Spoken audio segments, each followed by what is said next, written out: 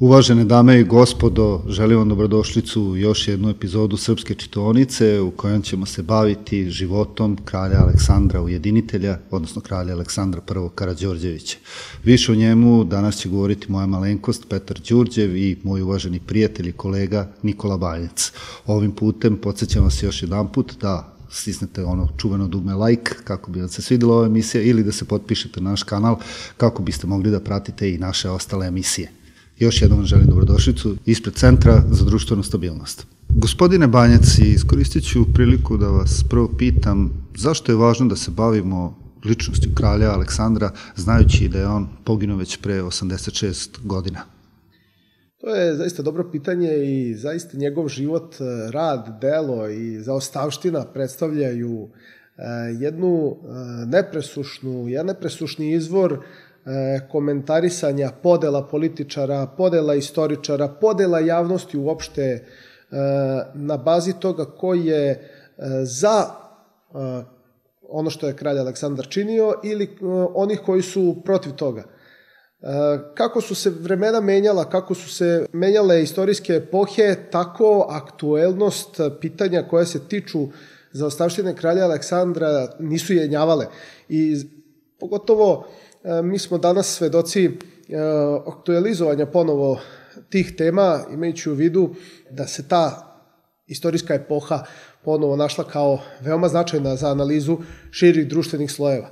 Zato je veoma interesantno i važno, mislim, e, napraviti jednu kratku observaciju lika i dela kralja Aleksandra i prosto predočiti one stvari koje su koje je istorija kao nauka utvrdila kao činjenice ili makar možemo e, sa priličnom uverenošću smatrati da su se te stvari na taj način desile. Pošto oko lika i dela kralja Aleksandra se pletu zaista mnoge, mnogi mitovi, mnoge legende, mnoge stvari se njemu pripisuju kad ne znate kome šta da stavite da je za neku situaciju istorije krivo, onda se to pripiše kralju Aleksandru.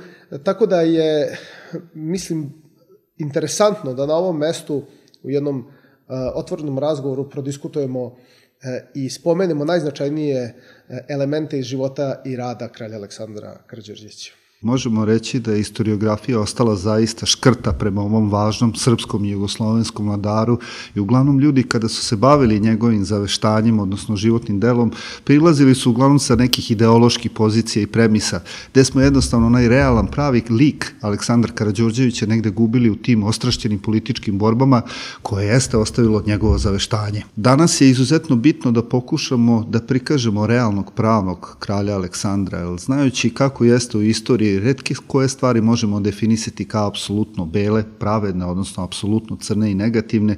I uglavnom istoriografija kada nam govori o nekoj osobi uvek nam donosi jednu sliku da li sa više sive, sa više crne premise ili sa više bele premise. Danas kada pričamo o kralju Aleksandru i pitamo ljude koje su prve asocijacije vezane za njegovo život i delo, prvo će ljudi reći veliki kralj, ujedinitelj, ponos Šumadije, ponos srpstva, a malo se ljudi zaista bavilo iz kog je on zaista milija potekao. Šta je sve uticalo da se formira jedna ličnost koja će postati neustrašivi ratnik, veoma veš diplomata i možemo reći jedan pravi vladar koji je uspeo u svom kratkom životu da protera dve velike imperije posle toliko vekova sa Balkana, tu preoshodno mislim na Hasbursku monarhiju i Tursku. Koji su to elementi koji su uticali na njegovo intelektualno i moralno sazrevanje i kako smo dobili tog istorijskog kralja Aleksandra?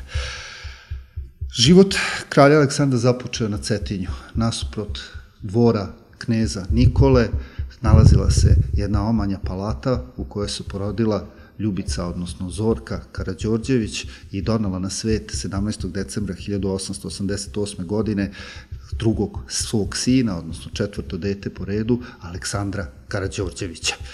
Danas ljudi malo znaju da je brak između Zorke, odnosno čerke kralja Nikole, kako su ga zvali tasta Evrope, i Petra Karađorđevića, unuka slavnog srpskog vožda iz prvog srpskog ustanka, dugo bio pripreman. Nekoliko godina unapred, pre samog sklapanja braka, uspostavljene su prve veze gde se razmišlja o tome da li započeti jedan takav brak. I onda dolazi 1882. godina, u Srbiji se dešava jedan veoma značajan moment, tako što se Milan Obrenović proglasio za prvog srpskog kralja posle Kosova, a sledeće godine kao mali udarac sa Cetinja stiže vest da je upravo Karadžorđev unuk stigao tamo i da je zaprosio najstariju čerku kralja Nikole, to je buduće kralja Nikole i da je uspostavljen taj jedan veoma važan dinastički brak. To je svakako značilo veliku bombu, ali i veliku radost za srpstvo, jer su se dve značajne srpske loze urodile, Petrović i Karađorđević, i to je značilo da će se u ovom momentu sad ubaciti jedan novi element u politiku dinastičkih odnosa na Balkanu. Šta znamo o kralju Petru pre toga? Pa znamo da je jedan dobar deo života proveo izbrglištu još od 1858. godine kod Senta Andrejske skupštine, nakon onog strašnog ubistva kneza Mihaila na Košutnjaku 1867. godine, celokupna njegova imovina jeste bila oduzeta, ostalo mu samo ono pokretno, odnosno blaga, što je ostalo od njegovog oca. Znamo da je pohađao prestižnu vojnu akademiju Sen Siro, da je učestvovao u onom čuvenom francusko-pruskom ratu, da je prepelivao zaleđenu Loaru, zbog čega kasnije patio od Išiosa i Reume, da je 1875. godine se našao u Bosanskoj krajini, da je oko Vacar Vakufa okupio svoju četu i pokušao da se bori za oslobođenje srpstva, međutim, zbog protesta zvaničnog Beograda on je morao da se povuče i posle dugih, dugih godina, znači jednog bon vivanskog života, uvek skopčano sa velikim opasnostima, avanturom, on stiže na Cetinje.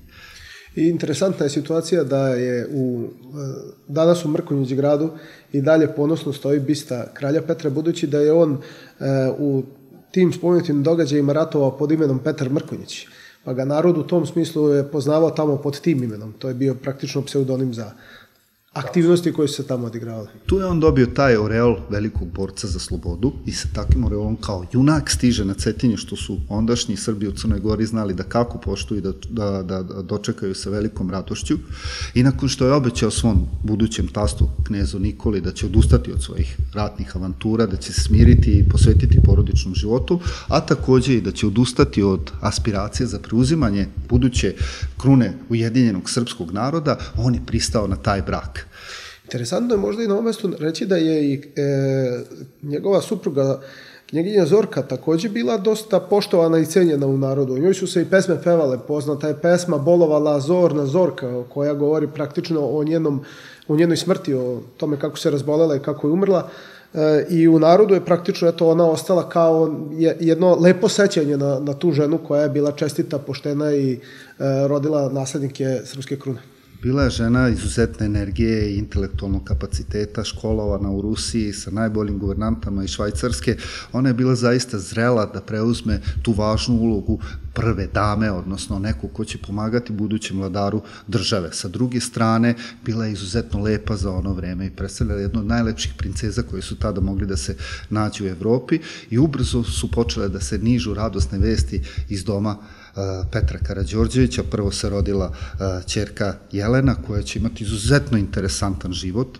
Ona će se udati u čuvenu dinastiju Romanova za Ivana Konstantinovića Romanova, jednog od najbližih e, srodnika budućeg cara mučenika Nikolaja II, koji će nažalost takođe postradati, ali samo dan posle ruske carske porodice u Sibiru 18. jula 1918. godine, nakon čega je nastavila svoj život putešestvujući po Evropi i svakako njen život bi bio dovoljno interesantan samo da se priča u, u, u ovoj emisiji. Zatim se rodila čerka Milena koja nije dugo poživala nekih godinu i po dana i onda je stigla prva velika radost za kuću Karadžorđevića i Petrovića jer se rodio i muški naslednik koji je dobio ime Đorđe upravo po dedi Petra Karadžorđevića, čuvanom Crnom Đorđu. Zatim dolazi rođenje, kao smo spominali, Aleksandra Karadžorđevića i peto dete donosi i najveću muku porodice, jer upravo u to vreme je počela knjenja Zorka da poboljeva, E, kako su lekari smatrali da je imala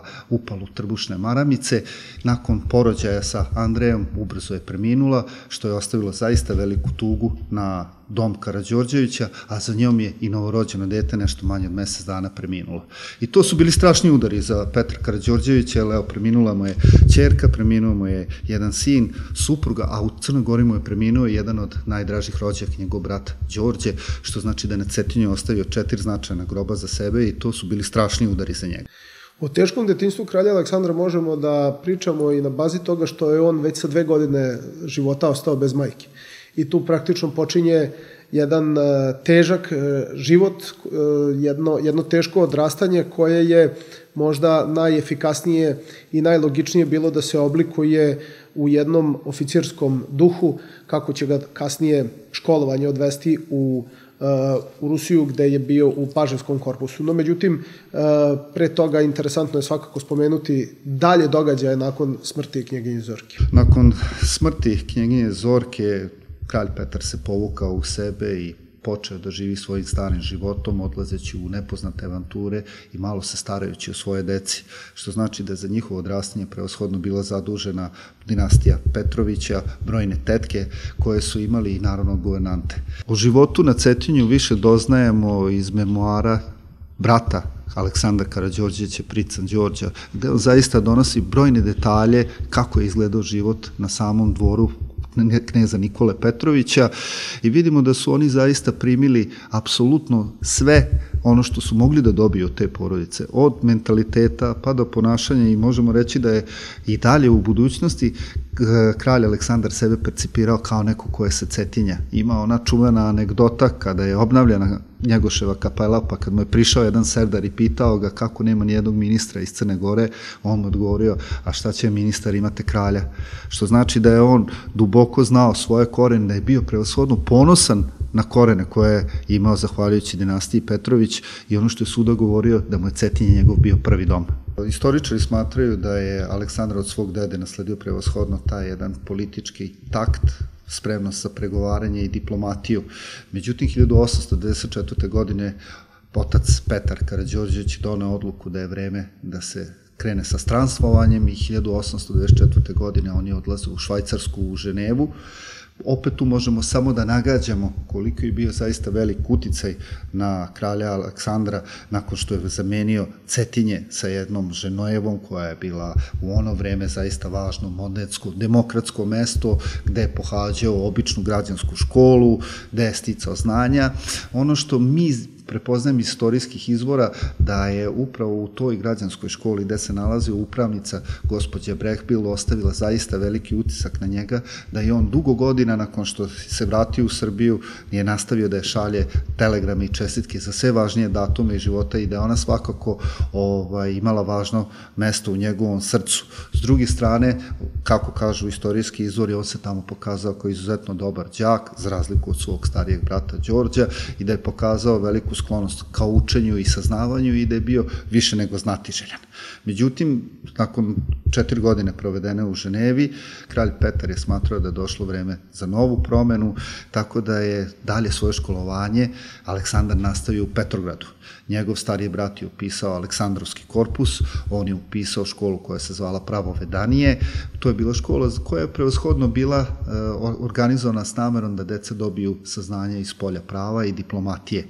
Tako da tu je dalje nastavio svoj život i onda dolazi ta 1903. godina, smena prestola, veliki lom i sa 15 godina kralj Aleksandar prvi put dolazi u domovinu svoga oca, odnosno dolazi u Beograd. Veoma je značajno kada se pravi jedna analiza lika i dela kralja Aleksandra, upravo taj vremenski moment, odnosno kako su se stvari uh, u njegovom životu smenjivale munjevitom brzinom. Dakle, on uh, sa 15 godina dolazi u jednu, uh, u, u Srbiju u jednoj situaciji, njegov otac naravno, preuzima vlast, u jednoj situaciji koja je bila najblaže rečeno možda i najspecifičnija u Evropi ondašnjega vremena. Naime, e, dinastija Obrenovića je zbačena u krvi, e, vojska se, e, odnosno delovi vojske su se organizovali kao zaverenici i svrgnuli poslednjeg Obrenovića na jedan način koji im nije sigurno mogao u tom smislu služiti na čast ali činjenica je da je e, država ušla u jedan vakum, da se čak razgovaralo i raspravljalo u tim zavereničkim grupama koji će biti novi državni oblik, odnosno novo državno uređenje Srbije. Spominjalo se čak da se ponudi možda presto e, Nikoli Petroviću, spominjala se mogućnost da se napravi republika, spominjala su se razno razne opcije, međutim prevaknula je opcija da se ponudi srpski presto Karadžorđevom unuku i da on praktično bude neko ko će u Srbiju implementirati one vrednosti kojim, kojima se napajao dok je živeo u Francuskoj i da će u Srbiji dakle da uvede punu parlamentarnu demokratiju. Dakle, od tog, od tog momenta počinje jedan takođe buran period u životu kralja, budućeg kralja Aleksandra, jer se naravno to sve nije odvijelo tako glatko. Dakle, konstantno, praktično od 903. traju sukobi i razmirice na relaciji kralj Petar, zaverenici i vlada koja je izabrana kroz izbore. Takođe, međunarodni položaj Srbije je veoma težak, budući da Velika Britanija odbija da, da prizna stanje e, nakon 29. maja 1903. godine. E, već e, vrlo brzo se i na međunarodnom polju stvari odvijaju dosta nepovoljno za Srbiju, pošto počinje carinski rat i aneksiona kriza. Zaista godina veoma burna, ali i prelomna u životu budućeg kralja Aleksandra. Zašto? Jer on upravo na svoj 15. rođendan 17. decembra 1903. godine stupa u redove srpske vojske kao redov. I on je najviše sebe voleo i da vidi, a i želeo narod da ga shvati upravo kao vojnika. I sledećih 31 godinu on tu uniformu neće ni napuštati. I de facto svoje najveće uspehe jeste izvojao na vojnom polju. Međutim, gledajući naše kolektivno istorijsko sećanje, vidimo da mu se ta uloga uskraćuje. Da ga jednostavno ljudi ne percipiraju kao velikog vojnika i jednostavno ta njegova najveća vrednost je unižavana i to nam opet smeta da ugledamo pravi realni lik kralja Aleksandra. Znači, posle godina provedeni na Cetinju, Ženevi i Petrogradu, on prvi put dolazi u otačbinu svoga oca, postaje vojnik i postavlja se pitanje kako će teći dalje njegovo obrazovanje. Pa je za školsku 1904-5. godinu angažovan grof Lujo Vojnović, koji se starao o njegovom obrazovanju. To je, on je zaista bio grub prema njemu i gledao je da iz budućeg kralja izvuče sve ono najbolje što je mogo kako bi ga spremio za tu veoma tešku i važnu dužnost upravljanja državom. 1905. godine je raskinut ugovor sa gospodinom Vojnovićem i uspostavljena je odluka da opet nastavi dalje svoje školovanje u Petrogradu, ali ovog puta u čuvenom Paževskom korpusu. Aleksandar odlazi u Petrograd i tada politički počinje da sazreva. Bivajući u prestonici ogromnog carstva koje se predstavilo na dva kontinenta. Mislim da se tu u njemu složila slika o važnosti narodnog ujedinjavanja za formiranje jedne moćne i velike države. Ima jedan opis kada je Milovan Milovanović posetio sa budu, budućeg kralja u Petrogradu, on nije bio u Paževskom e, institutu u njihovom domu, već se nalazio u Zimskoj palati u Petrogradu i kada je ušao u njegov stan, prvo što je video tri slike koje su okačene na zidu, jedna je bila naravno ruskog imperatora Nikolaja II, svog oca Petra I. Karadžođeća, ali i svog dede Nikole Petrovića. To su bitni jako elementi da bismo razumeli šta se dešava 1918. godine. E, u tom razgovoru začelo, začelo se pitanje oslobođenja Srba. Pa je krenulo pitanje da li osloboditi samo staru Srbiju. Aleksandar je rekao da je to malo. Mora se osloboditi ne samo stara Srbija, već se mora ići šire i dalje, pa krenuti prema Bosni i Hercegovini. A zatim pita naše diplomate, a šta ćemo sa našim narodom u Austro-Ugarskoj? I njih moramo osloboditi. I faktički on razumeva tu životnu možda potrebu da je srpski okvir premalo da bi se sačuvala nezavisnost države, gledajući prevashodno sa kojim velikim pra, imperijama smo imali u to vreme problema. Zato je želao i video ujedinjenje Južnih Slovena kao jedan koncept koji će omogućiti svim tim narodima nezavisnost. Još je interesantno samo spomenuti radi potpune slike da je da su Karađorđevići praktično do, do 900, ajde da kažem 18. 19. godine bili ubedljivo najsiromašnija kraljevska porodica u Evropi. Dakle, kralj Aleksandar nije uopšte, u, pogotovo tada, nije uopšte bio u poziciji da raspolaže sa bilo kakvim novčanim sredstvima. Praktično se ta porodica izdržavala više od milostinje, da tako kažem, onih koji su bili u prilici da, da sredstva daju, e, imajući u vidu da su, pot, da su oni potomci Karadžorđa. E, ostala je poznata priča da je kralj Petar spavao na vojničkom krevetu, da je ceo život, da je e, to bila jedna zaista, jedni zaista skromni uslovi života, o čem, što dovoljno znači govori o tome da su da je kralj Aleksandar nije bio odvojen od neke realnosti kako njegov narod živi. Ovde dobijamo punu sliku i te jedne socijalne pozadine koje je formirala ličnost kralja Aleksandra duboko je razumeo i potrebe i najnižih slojeva. Nije rastao u svili kadifi, kako bi rekli, već je zaista i su imali problema nekada i sa plaćanjem najosnovnijih računa. Opet treba napomenuti još jedan element u smislu emotivnog sazrevanja, da je njihov otac bio zaista prek da se prema svoje deci ponašao kao prema svojim vojnicima, dečije nestašluke ili ne daj Bože da je neko pipno neku njegovu stvar, nije mogo da prihvati i zaista ih je odmah telesno kažnjavao. Tako da imao je zaista još jednog strogog oca. Kao da nije bilo dovoljno ono što ste rekli da mu je gotovo sa 15 meseci preminula majka, već sad smo došli do te situacije da je otac bio jedan stariji čovek, treba napomenuti 20 godina stariji od njegove majke, jednostavno kao da je bio već istrošen čovek i da nije mogao da da ljubavi i nešto više svoje deci. Zato je on, možemo slobodno reći, i u nauci, izučavanju i formiranju sebe kao vojnika možda video i kao jedan ishod i beg iz realnosti. Jer to je ono gde on sebe prepoznao da je njegova jeste dužnost da kao vojnik služi Srbiji. Uspio je da sruši tri carstva za 46 godina, stvori e, najveću srpsku državu veću od Dušanovog carstva. To je prvi srpski vladar koji je uspeo da ujedini sve Srbe u jednoj državi. To nije uspeo ni car Dušan i to je još jedan element odakle bi i kako bi trebali da ga možda bolje posmatramo, ne samo kao važnog ratnika, već i jednog političkog ujedinitelja srpskog naroda, jer s druge strane i ona Jugoslavija koja je počela da živi 1944. godine počivala je na temeljima iz 1918. godine. Tako da to jeste bitno. Međutim, šta se dešava u Petrogradu, e, klima vlažna i previše hladna je zaista štetila njegovom zdravlju i to je još jedan element koji će biti biti važan za njega kasnije, a to jeste da je bio slabijeg zdravstvenog stanja. Zbog čega se došlo na rešenje da 1906. godine se vrati u Beograd da polaže ispite u Petrogradu, a da nastavu sluša u Beogradu, došao je poseban vaspitač Nikolaj Suljmenov kojemu je predavao te najvažnije predmete i tako je završio šesti i sedmi razred pažarskog korpusa i onda nam dolazi 1908. godina u momentu kad je trebao da krene na specijalističke vojne studije, izbija velika aneksiona kriza i sve se menja. Njegov brat Đorđe to vreme istupa više nego energično i više nego nepromišljeno protiv stavova i akata koje je vršila Austro-Ugarska. Svi znamo onu čuvenu scenu kada je na konju sa zastavom dojahao u centar Beograda, sa zaista, ajde da kažemo, ne diplomatskim rečima se odnao prema svom moćnom severnom susedu i pozvao narod u rat do pogibije, što je naravno izazvalo veliki medijski skandal i veliki pritisak Austro-Ugarski protiv njega.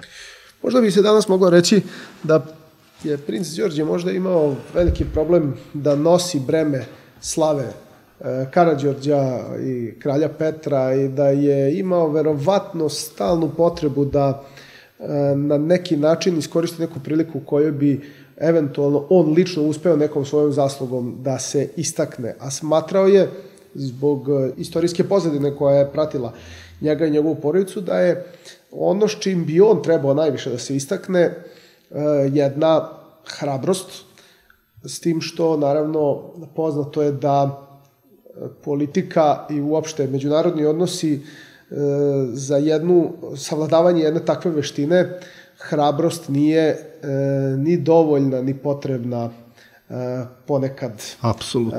veština. Ona je poželjna, ali zaista je ponekad potrebna i mudrost. Tako da ovaj gest o kome si ti sada pričao svakako je bio početak eh, jednog uverenja opšte javnosti i eh, javnosti u Srbiji i međunarodne javnosti da eh, princ Đorđe neće biti adekvatan za nastavak vođenja srpske politike koja je uvek i danas vrlo, vrlo specifična gde je dakle potrebna jedna mudrost i odmerenost. Mudrost, uzdržanost i odmerenost. To je sve što nije imao princ Đorđe prevashodno u tom ranom dobi svog života. U princu Đorđu postoje naravno dve teorije. Jedna koja je najpribližnija njemu, a to jeste ona knjiga koju je napisao Istina o mome životu, gde sebe prikazuje kao žrtvu celokupne Aleksandrove politike.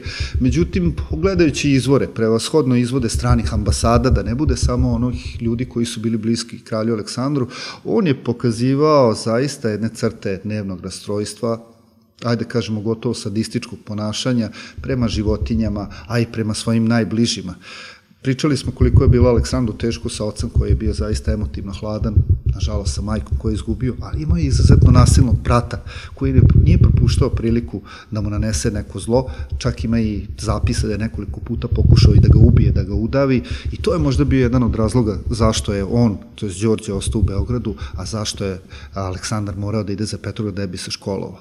Međutim, kulminacija svih dešavanja je su godila 1909. godine, kada je došlo do te čuvene afere, kada je svoga očutanta Stevana uh, uh, ubio. Uh, samo ubistvo jeste proizvalo jednu tešku atmosferu u Beogradu, prevoshodno zbog toga već prilikom primjom u bolnici Kolaković je napisao da mu se ništa nije dogodilo, da ga nije istukao princ Đorđe, međutim kasnije je uspeo tajno da pošalje supruzi poruku da ga je on faktički prebio i na posledice tog prebijanja on je preminuo, što je stvorilo zaista jednu tešku atmosferu. Ajde da ne kažemo da se u Srbiji tog vremena nisu dešavale možda i lošije stvari, međutim to je bila kulminacija jednog sadističkog ponašanja koja je trajalo u u princa Đorđa od dolaska u Beograd. Ima priče da je pucao na ljude, da je uzimao svoje nike, terao i da stavljaju cigare u usta, pa je on zatim pokušavao da ih pogodi, da je izrešetao nameštaj na dvoru od svog ponašanja, da je bio zaista jedan pahat čovek. I to je uslovilo jednostavno da je došlo do te afere i on je morao da odustane od titule prestolonaslednika i Aleksandar ni kriv ni dužan, stao je sad od onog vojnika u čoveka koji je trebao da predvodi Srbiju u dalje budućnosti. Još je važno reći da ni sam Đorđe nikada nije sporio da je Kolaković e, tragično nastradao zbog tog njegovog e, čina koji je, koji je napravio. Samim tim on je praktično to ubistvo na neki način i, i priznao. Na tom planu nije mnogo promenila situacija ni kasnije. E, postoje čitavi telegrami izveštaji ambasade u Francuskoj Milenka Vesnića koji je bio ambasador Kraljevine u, u Parizu iz 1900, iz 20, 20. 21. godine, e, gde je u tom momentu Đorđe živeo i gde je praktično njegovo ponašanje bilo vrlo kritično što se tiče e, odnosa prema zaposlenima u ambasadi, koji su se bukvalno morali kriti od, od Đorđa. Takođe, postoje istorijski izvori koji svedoče da je Aleksandar više puta pokušao da e, se izmiri sa bratom, da e, jedno vreme kada se e, posle te, tih parijskih incidenata, kada se Đorđe navodno pokao je napisao pismo Aleksandru u kojem ga moli da, da pri, priznaje da je preterao i gde ga moli da se pomire. E, Aleksandar je čak jedno vreme bio promenio dvorski protokol da porodica zajedno e, ruča i večera svaki dan, dakle da budu e, makar u tim prilikama svakodnevno zajedno, ne bili se na neki način ovaj, pomirili, međutim Đorđe je ponovo te izjave koje je davao o tome da žele se pomiri pogazio, nastavio po starom i tek tada dolazi ona čuvena E, epizoda sa Beljem, e, odnosno sa Toponicom, gde e, praktično lekari na krunskom veću, a ne na nekim, na, nekim zakulisnim radnjama, ustanovljavaju da je Đorđu potrebna nega lekarska. Jasno. E sad, vratimo se u tu situaciju 1909. godine. E, težak je udarac nanet Srbiji time što je izvršena aneksija Bosne i Hercegovine. Podsjetit ću vaše gledalce da je 1878. godine potpisan Berlinski mirovni ugovor – Znači, međunarodni sporazum koji je dao Austro-Ugrskoj samo pravo okupacije, a ne aneksije teritorija sa koje se u to vreme smatralo najčistije, najsrpskije i gde se smatralo da Srbija svakako treba da se proširi i ujedini. U takvoj jednoj situaciji vidimo incident sa princom Đorđem, vidimo jednog ostarelog kralja koji se teško snalazi u političkim borbama u Srbiji, a još teže se snalazi u borbama sa onim što se dešava u vojsci, u toj borbi za premoć između budućih crnorukaca i, i oficira lojalnih dvoru. U tom momentu Aleksandar dolazi sa svojim nesvršenim obrazovanjem u titulu znači prestolonaslednika i sa jednom novom misijom. Međutim, 1910. godine tog komojnih manevara u Nišu on je, nažalost, oboleo od pegovog tifusa, koliko su te teorije zavere često produbljene, čak se smatrao da je možda neko od crnorukaca njega nameno ovaj, zarazio i smatralo se da upravo zbog tog krhkog zdravlja o kojem smo već spominjali, da on to neće preživeti. Započeti su molebani po čitavoj Srbiji, pa čak se i u samom Petrogradu služio moleban, jer ne treba nikako ni smetnuti sa uma da je on godišnje bio priman u carski dvor četiri do pet puta, da je bio miljenik ruskog imperatora Nikolaja II,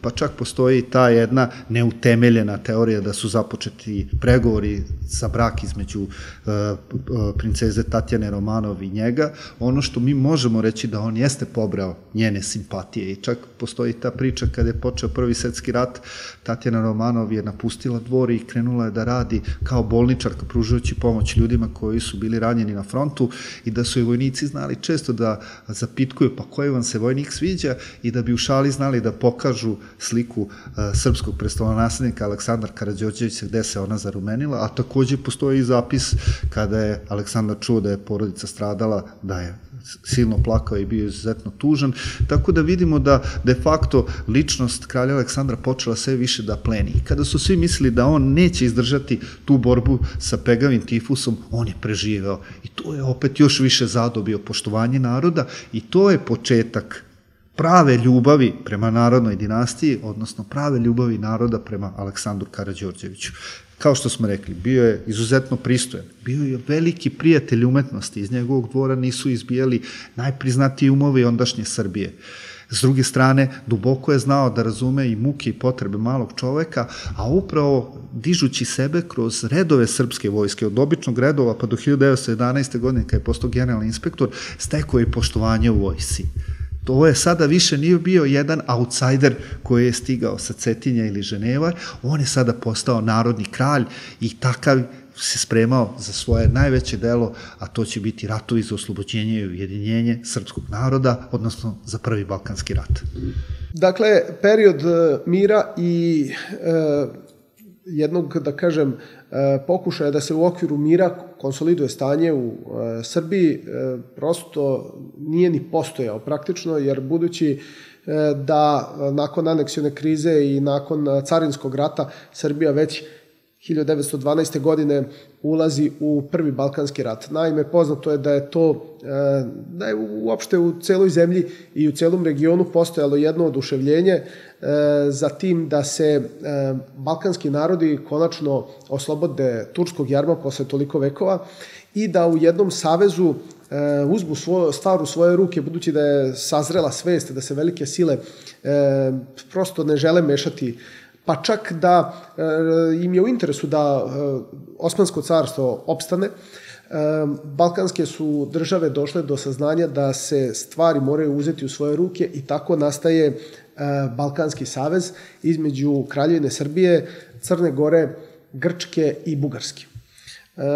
Okosnica toga saveza koja je praktično predstavljala najrealniju vojničku pretnju po Osmansko carstvo je bila e, ta saradnja na relaciji e, Bugarske i Srbije i predsjednik vlade e, kraljene Srbije Milovanović je praktično neko ko je dobar deo svog života posvetio sklapanju sporazuma sa Bugarskom, ne bili na taj način stvorio jednu osnovu za protirivanje Turskog carstva iz Evrope, odnosno oslobađanje svih, svih Slovena od turskog jarma. 912. je e, godina velike patnje i godina velike slave za srpsku vojsku. E, u toj e, godini je srpska vojska uspela da napravi takve podvige o kakvima su se do danas pevaju pesme. Srpska vojska uspeva da oslobodi Kosovo posle 1389. ili posle 450-500 godina robovanja pod Turcima, zavisi koju godinu uzimamo kao referentnu.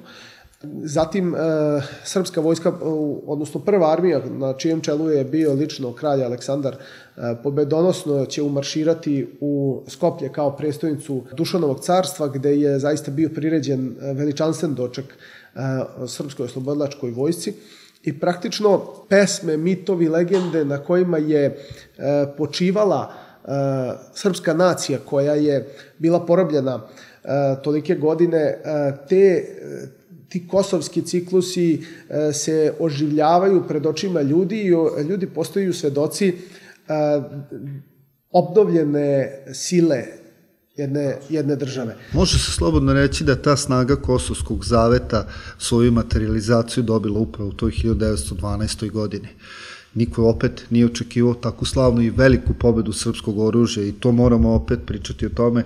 Nasuprot prve srpske armije bila je mnogo jača turska armija i bolje opremljenija koje je predvodio Nizam Paša, koji je krenuo u ofanzivu prema gradu Kumanovu, međutim Kumanovo je postalo mesto gde je kralj Aleksandar ispisao prvu stranicu svoje vojničke slave, uporno obilazeći svoje vojnike, konsultujući se sa svojim podređenima, uspeo da primi taj strašan udar turske armije, da krene u kontrafazivu i natera glavninu turske vojske na prostoru Vardarskog ratišta u bezglavo povlačenje.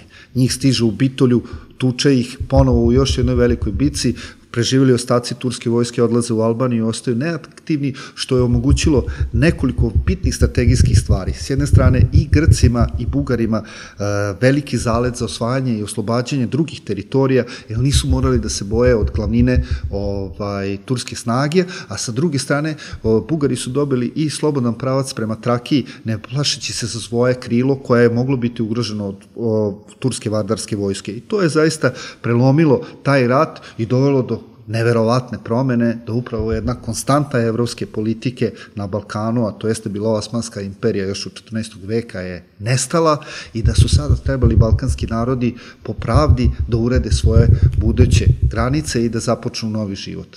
Praktično, osnovica e, tog e, srpsko-bugarskog sporazuma je bila da će se e, teritorija, otprilike teritorija današnje Makedonije podeliti po jednoj kosoj liniji, po liniji Kriva Palanka Ohrid, e, gde bi e, zapadni deo te teritorije e, pripao Srbiji, a istočni do grada Ohrida bi pripao Bugarskoj. Dakle, tako je, to je bila inicijalna ideja za stvaranje srpsko-bugarskog sporazuma.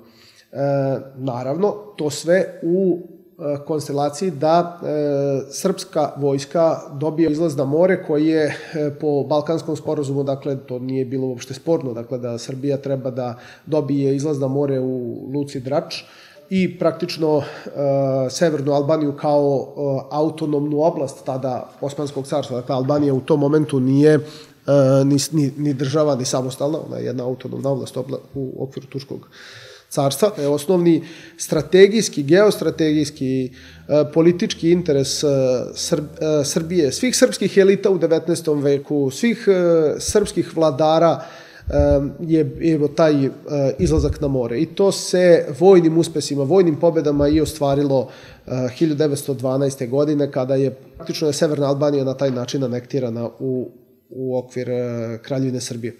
Međutim, uvek ima međutim.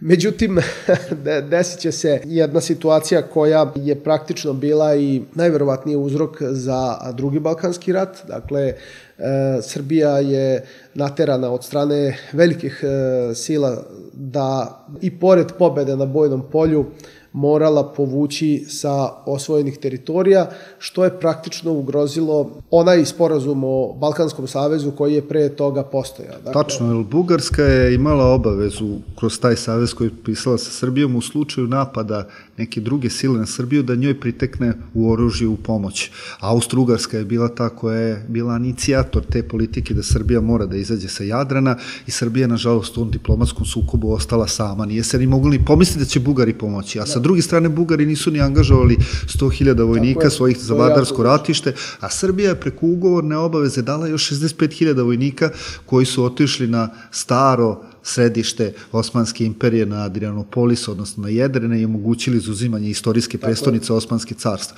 Tako da je Srbija imala puno pravo da traži materijalnu, to je teritorijalnu kompenzaciju u Makedoniji za sve ono što nije učinila Bugarska, međutim, bugarski uh, uskogrudi uh, šovinistički stavovi su uslovili upravo to, da nisu želeli da odstupe i ne želeći opet da sačekaju još jednu klauzulu tog sporazuma, to jeste da Nikolaj II. Romanov treba da da konačno slovo, krenuli su opet u napad na srpsku vojsku, na Bregalnici i to je opet bilo jedno novo iskušenje za buduće kralja Aleksandra. Tako je, čak postoje danas i u, u bugarskoj istoriografiji mišljenja da je to bio jedan koban potez, koji je išao praktično na štetu Bugarske. To se može na kraju krajeva vidjeti po teritorijalnoj proširenosti Bugarske od 912. godine i onda koje su sve teritorije izgubili posle 913. znači posle tog vojničkog sloma, ali svakako je prosto neverovatno da se nije, da je taj element verovatno germanski zbog Sakskoburga na prestolu Bugarske. Neverovatno je da se nije sačekalo sa tom arbitražom ruskog cara koja je bila praktično dogovorena sporazum između Srbije i Bugarske. No, bilo kako bilo, srpska vojska 913. godine odnosi sjajne pobede protiv Bugarske u još jednom savezničkom izdruženom delovanju i sa Crnom Gorom i sa Grčkom, gde praktično kralj Aleksandar nakon tih vojnih pohoda je već dobio oreal velikoga vojskovođe, došlo je do jednog teritorijalnog proširenja i što se tiče stanovništva i što se tiče i što se tiče teritorije i praktično je nakon tih ratova trebalo delovati smireno, polako, državnički kako bi se e, novoslobođene teritorije integrisale u, u jedan novi društveno, jednu novu društveno političku realnost zašto je naravno bilo potrebno vreme i državnička mudrost. Međutim, 914. godina je već e, pred vratima, e, nema vremena za, za ove aktivnosti koje podrazumevaju mir i stabilnost.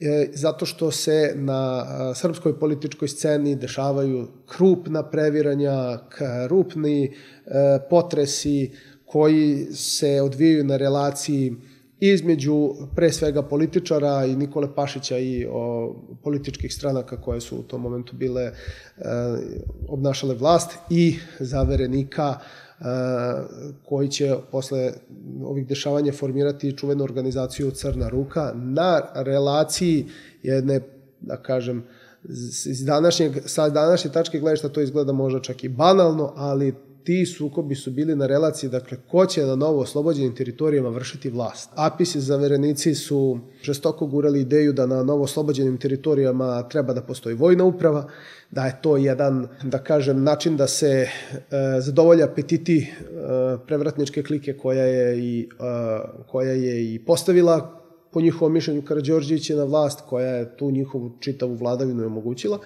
a sa druge strane Pašić, e, gledajući vrlo često, pre svega partijski interes, E, smatra da se na e, tim novim teritorijama dakle trebaju raspisati izbori i da e, vlast treba da pripadne civilnim strukturama. Velika pobeda jeste bila delom zamračena upravo ovom političkom borbom koja je nastala na relaciji zaverenici dvor, ali ne treba nikako smetuti suma da zaverenici nisu se zaustavili na onom prvobitnom svom cilju i planu, a to jeste bila smena dinastije Obrenović, da su se 1911. godine u organizovali orga, neformalnu organizaciju koja je debila ime Ujedinjenje ili smrt, odnosno Crna ruka, sa zadatkom za borbu za oslobođenje srpskih teritorija, međutim, oficiri koji su bili nesumnjivo velike patriote i veliki Srbi i ljudi koji su bili spremni na najveće žrtve za ono što su oni smatrali dobrobit srpskog naroda, da su da kako sve manje i manje e, starali ne samo o vojnom pozivu, već da su više razmišljali o politici. I prepucavanja na liniji kralj Aleksandar, kralj Petar i Crnolukci su bili gotovo redovni još od 1908. 9. godine kad su crnorukci čak planirali i razmišljali o ubistvu princa Đorđa, pa ista situacija je nastavljena kasnije sa kraljem Aleksandrom, tako da je to bila jedna geneza čestih političkih borbi, da je Crna ruka pokazala da je spremna ne samo da se bavi vojnim pitanjima, već želi duboko da uđe u suštinsku politiku države.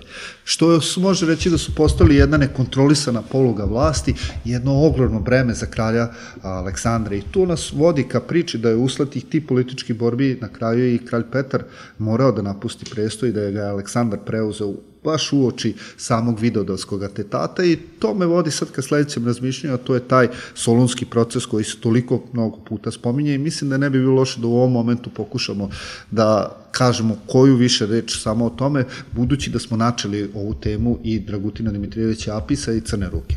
Naravno, tu je suština cele priče, upravo što si rekao i što je po meni e, ključni zaključak, e, dakle, Crna ruka kao organizacija je zaista bila sila na koju se moralo računati. Ona je instalirala svoje ljude na svim položajima u vojci. Radomir Putnik je bio zaštitnik načinjeg glavnog generalštaba, bio je nač, zaštitnik crnorukaca, prvi adjutant kralja Aleksandra general, kasnije potonji general Panta Draškić je takođe u svojim memoarima priznao da je bio član organizacije Ujedinjenje ili smrt, kasnije Crne ruke.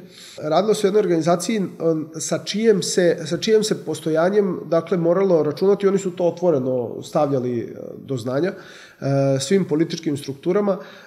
U taj patriotizam ne treba uopšte njihov sumnjati i sa tim se slažem što si potpuno rekao, međutim to radi se o, o jednoj u realnosti neostvarivoj činjenici da jedna vojna klika pokušava da kontroliše sve procese u, u, u državi, što je e, situacija kakva je možda bila samo u južnoafričkim državama gde su se vojne hunte smenjivale na vlasti, a to je civilizovana Evropa nije mogla niti smela, niti htela, niti bilo prirodno da dozvoli e, jednu takvu, jednu takvu situaciju. To i kralj Aleksandar interesantno pominjao u jednom razgovoru sa diplomatom da oni kuju plan da uspostave jedan tip organizacije društva kao u Južnoj Americi, gde će vojska preuzeti čitavu državu i uvesti faktički vojnu huntu. I tu je prevashodno, znači nije problem, najmanji je problem ko je pucao. I dalje je bilo onog atentata kada je kralj Aleksandar išao kao Soluno i kad su se čuli ti pucni kod Ostrave, da li je došlo do samog izvođenja atentata. Ja lično mislim da jeste. Ali ključno jeste bila borba za budućnost Srbije, odnosno ko će upravljati njom. Da li sa Karadžorđevićima na čelu ili sa zavereničkom grupom Crna ruka i u tome se ogledala ta čitava politička borba. Zaverenici su, odnosno pripadnici organizacije Ujedinjenje ili smrt su otvoreno, dakle, e, govorili da će nakon e, rata e, i nakon povratka u državu praktično oni svojim prekim sudovima ove, počistiti sve one političare koje su smatrali nepodobnima i da će praktično kompletno državno uređenje zavisiti od onoga kako se bude njih nekoliko oficira o tome, o tome bude dogovorili. Međutim, oni su imali velike, e, pretrpeli su e, velike gubitke posle smrti Voje Tankosića e, i posle smrti Vojvode Vuka. Ta se četnička organizacija njihovim nestankom veoma poljuljala i oni su se po meni upleli u jednu visoku politiku koja je da, daleko prevazilazila njihove mogućnosti da se, da se, da se tim stvarima dakle, na uspešan način bave e, i ishod e, tog previranja koje se dešava od 915. godine, praktično od Krfa do e, Solunskog procesa, je bio takav da su vođe organizacije likvidirane. I to je ostavilo naravno veliku bol prevashodno u vojsci u narodu koja je donekle i doživela izmenu 1953. godine, kad interesantno, kad su komunističke vlasti obnovile taj proces i rehabilitovale ljude koji su stradali u solunskom procesu. Samo na ovom mestu dodao, komunističke vlasti su verovatno svoj interes našle u rehabilitaciji i zbog toga što su mnogi crnorukci nakon Prvog svetskog rata i u ideološkom smislu se okrenule u pravcu komunističke partije i bili njeni reprezentativni predstavnici, pogotovo Božin Simić, e, Mustafa Golubić i tako dalje.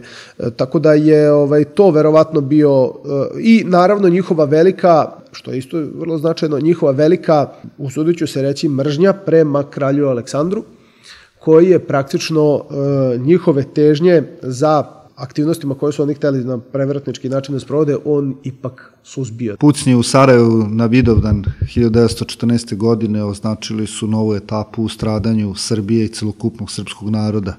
Podsjetiću brojka od 1.278.000 poginulih državljana Kraljevine Srbije u Prvom svetskom ratu predstavlja jednu gorku opomenu kroz sve što je prošlo naše narod, a i društvo u to trajanje tog četvorovodišnjeg sukoba. Nikako ne treba smetnuti sa uma da su tada Srbi kao prvi narod u Evropi iskusili to, taj izum zapadnoevropskih država zvani koncentracioni logori, gde su brojni naši građani, odnosno Srbi iz Bosne i Hercegovine, Hrvatske, današnje Vojvodine, a i same kraljevine Srbije bili slati po razne logore i to je bilo vreme velikog stradanja, ali i vreme stradanje, e, to je bilo vreme velikog stradanja, ali i vreme velike vojne slave. opet kralj Aleksandar opravdava svoje ime kao glavni vrhovno komandojući predvodi srpsku vojsku u bojima na Ceru i Kolubari, opet je sa svojim vojskom 1915. na 16. godinu kada se prelazi Albanije, dolazi na Primorje, nikako ne treba smetnuti sa uma da je odbio ponudu da se povuče sam, on je rekao povući će se iz tih močvarnih predela Albanije koji su kosili našu vojsku, da će otići tek kada poslednji srpski vojnik bude otišao odatle da se podvrgao jednoj izuzetno teškoj operaciji bez anestezije tada, a najveća njegova zasluga uopšte gledano u domenima Prvog svetskog rata jeste prva ta što je on najviše insistirao da se otvori Solunski front. Jer upravo je Solunski front najavio početak kraja Prvog svetskog rata i doneo do sloma Saveza centralnih sila i sa druge strane kad je započela ta velika kontraofanziva srpske vojske na Solunskom frontu u toj noći 14. na 15. septembar kada su jedni za drugim pucali redovi bugarske i austro-ugarske i nemačke vojske, on insistirao da se nastavi u tom jednom bezglavom jurišu kako bi se što pre oslobodila svoja otačbina. Jer drugi vojni stratezi su se plašili da će velikim prodorom u neprijateljsku pozadinu biti izložena srpska krila kontra udaru neprijateljskih snaga, međutim, rekao, samo napred u slavu i uspeo ne da probije neprijateljski front, već da oslobodi ne samo Kraljevinu Srbiju, već i čitavu buduće područje Jugoslavije. Tako je, na samom spomeniku na Kajmak Čalanu je pisal, pisal kao što i na albanskoj spomenici piše kralj Aleksandar svojim ratnim drugovima, Dakle, svi oni koji su dobili orden ili odlikovanje albanske spomenice, on ih je nazvao bukvalno svojim ratnim drugovima i nije to bilo samo deklarativno, to je bilo i suštinski. E, kao što je i na Kajmakčalanu na spomeniku pisalo mojim div, div junacima koji svojim grudima otvoriše vrata otačbine. Tu se može videti njegov odnos prema a, srpskom vojniku, koga je on izuzetno cenio i poštovao. Takođe za ovo stradalništvo srpskog naroda sa svih teritorija praktično koje oni naseljavaju, što si ti rekao, apsolutno je tačno, pa bi ja i našim gledalcima skrenuo pažnju da mi danas na teritoriji Češke republike imamo koncentracioni logor u mestu Indrihovice, kosti naših e, e, predaka koje se tamo nalaze, gde je najveće srpsko groblje van Srbije, gde je poznato da postoji dakle 7100 e, naših sudnarodnika koji su tamo sahranjeni pod imenom i prezimenom da, u Češkom ministarstvu. Tako je, u Češkom ministarstvu odbrane postoje podaci o 7100 e, stradalnika na okolnim mestima, to je blizu granice Češke sa Nemačkom. Na tim poljanama i na tim proplancima još i dan danas postoji oko 1500 neobeleženih, neobeleženih e, srpskih grobova. Takođe, slična je situacija i na teritoriji Slovačke, gde imamo oko 5000 srpskih grobova i tako dalje. Odnos Aleksandru prema e, tim stradalnicima je bio takav da je e, Masarik tu teritoriju na kojoj se e, nalazio kompleks koncentracioni logora kod Indrihovicava je poklonio kraljevini Srba, Hrvata i Slovenaca posle kraljevini Jugoslaviji, a kralj Aleksandar je naredio da se sa Hilandara prenese jedna četinarska šuma koja je okolo sahranjena i koja predstavlja praktično večnu stražu tim ljudima koji su tamo koji su tamo izginuli. Nikome do današnjeg dana nije jasno kako je Kedrova šuma uspela da opstane na, u, u tim planinskim e, e, uslovima veoma hladnih zima. No, kao, kao što ni nikome nije jasno kako je mala Srbija koja se našla u nesrazmenoj borbi protiv moćne imperije kakva jeste Austro-Ugarske 1914. ili 1915. protiv Bugarske, Nemačke, Krajha i Austro-Ugarske da je uspela da izađe kao pobednica. Istorijski događaji su se nizali nezamislivom brzinom 24. novembra u Rumi je doneta odluka o prisjedinjenju Srema, Kraljevini Srbiji 25. ovde u Novom Sadu doneta odluka o prisjedinjenju Bačke Baranje i Banata, Kraljevini Srbiji 26. dolazi do Velike Podgoričke skupštine, gde narod Crnogore izvršava detronizaciju kralja Nikole, smatrujući ga izdajnikom ili ostavio i svoj narod i vojsku u toku Prvog svetskog rata i dajući prednost njegovom unuku, što je značilo ujedinjenje i Srbije i Crne Gore i dolazi 1. decembar 1918. godine kada je delegacija Narodnog vijeća u Beogradu pristupila pristupila i pri, potpisala sporazum o formiranju kraljevina SHS. Zašto je kralj Aleksandar prihvatio Jugoslaviju kao politiku nužnosti i nešto što je moralo da se e, dogodi? To je interesantno pitanje, verovatno da je e, manevarski prostor za, ne verovatno, nego sasvim sigurno, da je manevarski prostor za e, teoretisanje i donošenje odluka bio ne mali, nego ga praktično nije ni bilo. E, svedoci smo dakle da se, e, kada, kada učitamo izvore i kada najprostije pratimo istorijske, istorijska događanja, dakle da su se ti događaji smenjivali svetlosnom brzinom. Nije tu bilo ni vremena za e, neke dogovore, za neke pregovore, za neka teoretisanja, e, već je e, konstantno lebdela opasnost koja nam se desila 912. Dakle, kralj Aleksandar je stalno imao ispred sebe, pred svojim očima, tragičnost e, srpske nacije koja je koja se pokazala 1912. godine kada je glavni cilj e, srpske države bio izbijanje na Jadransko more i kada je usled e, intervencije velikih sila ona sa tih teritorija morala da se povuče on je konstantno e, se bojao da sada ponovo milionske žrtve prinete na oltar otačbine budu uzaludne zbog tog, zbog te činjenice, dakle, on se bojao da se sve što se dobro napravilo, da sve pobede koje su se na bojnom polju desile, sva slava srpskog oružja uh, u, u Prvom svetskom ratu postane potpuno nevažna i da se za zelenim stolom ponovo obrišu svi ti uspesi. I ne samo da se obrišu uspesi, nego da žrtve budu uzaludne. Mnogo je važnija ta i njegov osjećaj za patnju koju je narod zarad države proživeo. To je suština. Možda ne toliko ni ta neka slava nekih pobeda, ni to verovatno uh, nije uh, od presudnog značaja, nego da žrtve i stradanja i patnje postanu uzaludne. Ovde se radilo o jednoj nameri i njegovoj težnji, to se kasnije vidi kroz celu njegovu uh, spoljno-političku aktivnost od 1920. godine do njegove smrti 1934. godine je, i njegova orijentacija u spoljnoj politici je bila upravo takva da se ne dozvoli da se potru uspesi iz uh, Prvog svetskog rata, odnosno uspesi koje je srpska vojska ostvarila 1918. godine i uopšte srpski narod. Uh, da, da to ne postane potpuno nebitno odlukama velikih sila. U jeku raspada Jugoslavije i opšteg razočaranja koje je došlo kod srpskog naroda vezano sa tojim idejom, jasno da se i prema delu kralja Aleksandra dosta nekritički prilazi. Da li je po tebi možda postojao drugačiji format ujedinjenja srpskog naroda sem stvaranja jedne južnoslovenske države? Mi smo imali krvsku deklaraciju. Krvskom deklaracijom je rečeno 1917. koja se vodi sa predstavnicima slovenskih naroda, da ih tako nazovem, sa područja Austro-Ugarske. Jugoslovenskog odbora, da. Jugoslovenskog odbora. Da. Dakle, ovaj, Trumbića i tako dalje znači, e, Krvska deklaracija je definisala na neki način buduće ustrojstvo. To, to se dešava 917. godine. Već 918. godine e, u novembru mesecu, dakle, aspiracije predstavnika hrvatskih i slovenačkih političara rastu i oni po sve više, sve glasnije, sve češće pokušavaju da se izbore za neku vrstu, ajde da kažem, personalne unije ili e, federativnog uređenja te neke buduće južnoslovenske države. Jer Krvskom deklaracijom oni su prihvatili da će se formirati zajednička država na čelu sa Krunom Karadžorsića, a e, već 918.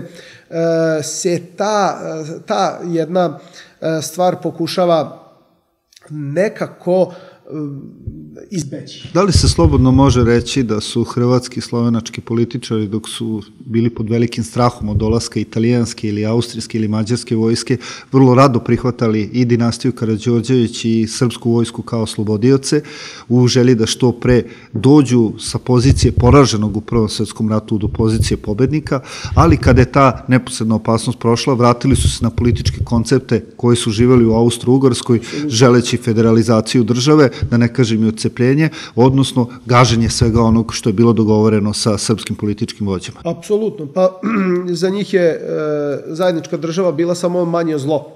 Dakle, oni su se bojali e, potpune jedne asimilacije u okolnostima nakon završetka e, Prvog svetskog rata 1918. godine. Dakle, srpska vojska je tu bila samo jedno pre, i srpska i ujedinjenje u južnoslovensku državu je bila jedno samo prelazno rešenje. Nakon svih ovih teških političkih borbi i ratnih pobeda, kralj Aleksandar sa samo 30 godina postaje vladar jedne nove države koja se prostrala od Alpa pa se dole do grčke granice. Kako je izgledala ta nova država, možda najbolje iz perspektive kada je ušao u svoj Beograd? Pa to je interesantna situacija, znači on praktično u Beograd ulazi koji je dramatično uništen posle bombardovanja 1915. godine u jedan grad koji je opusteo, koji je smanjen za polovinu svoga stanovništva. On praktično nema kuću u kojoj bi mogao da, da prenoći, nego je bio gost u domu Krsmanovića, gde će se kasnije i odigrati čin u, ujedinjenja 1. decembra 1918. godine. Postoje čak svedočenja predstavnika Hrvata i Slovenaca koji su dolazili na pregovore u novembru 1918. godine da su se oni čudili prosto gde su oni došli, šta, šta, je, šta je njih snašlo vezano da su u Beogradu naišli na jednu situaciju potpune opustošenosti gde su se oni bojali da će praktično e, savez sa jednom takvom srušenom državom praktično biti jedan, jedan veliki problem e, za njihovu ekonomiju. To, je, to, su, to su ostala svedočenja u tom smislu.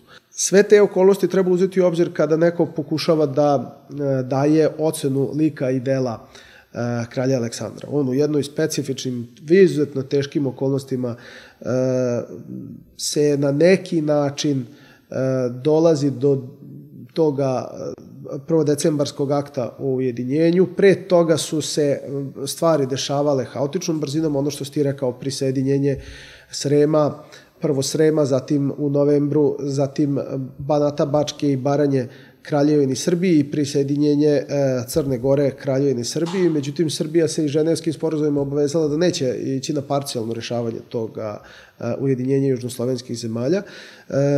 To je važno istaći jer su se mnoge oblasti u Bosni već počele e, sa glasanjem svojih lokalnih skupština oko prisajedinjenja e, Kraljevini Srbiji.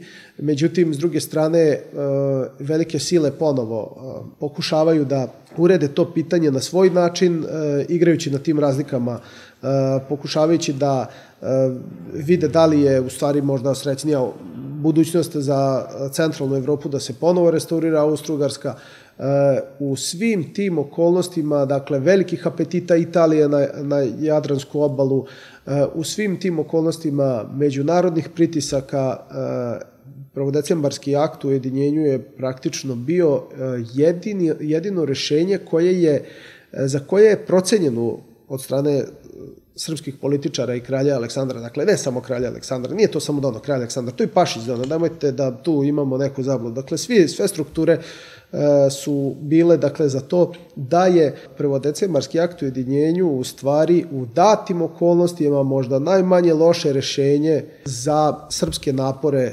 1914. E, 1918. godine i možda najmanje loše rešenje da se ne ponište svi rezultati srpskih žrtvi 1914.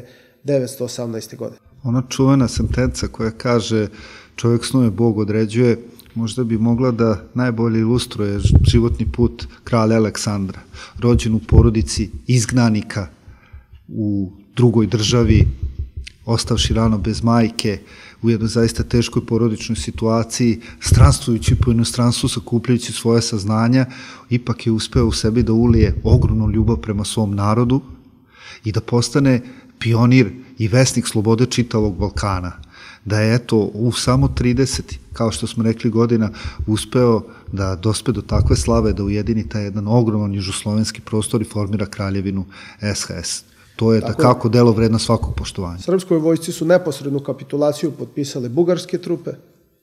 Dakle, bugarska država je kapitulirala pred srpskom eh, armijom.